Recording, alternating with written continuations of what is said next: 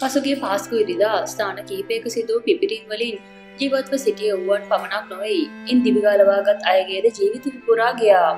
ඒ ලබැනියන් සියල්ලම මෙලොව හැරකුස් තමන් පමණක් ඔවුන්ගේ මතකයන් සමඟ මෙලොව තනිවීම හේතුවෙන්. මේ වැනි තවත් සංවේදී කතාවක්. චන්දිමා නිරංජලී යසබර්ධන මහත්මය සිය සැමියා හා දරුවන් දෙදෙනා සමඟ කදිරාන උළුවම්බලම ප්‍රදේශය ජීවත් වූ ආගමට දහමට ලැදි කතෝලික කාන්තාවක්. තම ආගමේ වැදගත්ම දිනයක් වූ පාස් විරිදා සිය සැමියා හා දරුවන් දෙදෙනා සමඟ ඇය කටාන කඩුව පිටිය ශාන්ති සෙබස්තියන් දේවස්ථානයට යන්නේ ජයසුස් වහන්සේගේ උට්ටානය සීකරන උදෑසන දේව මෙහට සම්බන්ධ වීමටයි. කෙසේ වෙදත් එහිදී සිදුවන්නේ ඔවුන් කිසිසේත් නොසිතූ දෙයක් මේ ඉතා කේතජනක අවස්ථාව පිළිබඳව ඇය ඉතා සංවේදී ලෙස මාධ්‍යකට පවසා තිබුණේ මෙලෙසයි. මමයි දුවර දෙන්න එක බංකුවක හිටියේ පිටිපැස්සේ මහත්තයා හිටියා. එක පාරම පිපුරුම සිදුවනා. අතර මගදි තමා සිහිය නැති වුණේ. මට ඇස් දෙක පේන්නේ නැති වුණා විතරයි මම ජේසු කියලා කෑගැහුවා. ඇස් දෙක ඇරලා බලනකොට මගේ කකුල් දෙක ගාව මගේ චූරිදුව. එතකොටම මම කිව්වා මගේ පුතේ මට ආව දැනෙන්නේ නැහැ කියලා. ඒ එක්කම ලොකු දුවත් වැටිලා හිටියා. උඩු බැලිය අතට ඒත් එක්ම පිටිපස බලන විට හස්බන් මුණින් අතට වැටලා හිටියා කියලායි ඇය හඬුව කඳුලින් පවසා තිබුණේ.